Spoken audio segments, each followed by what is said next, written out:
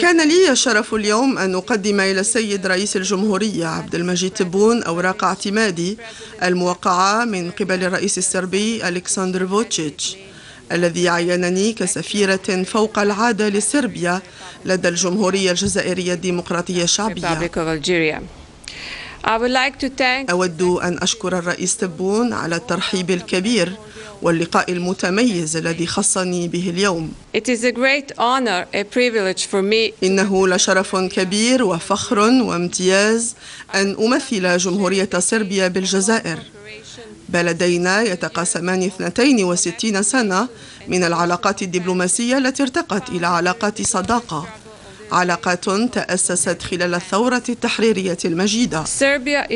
صربيا مصممة على توطيد علاقات الشراكة والتعاون وتعزيز الحوار السياسي بين البلدين.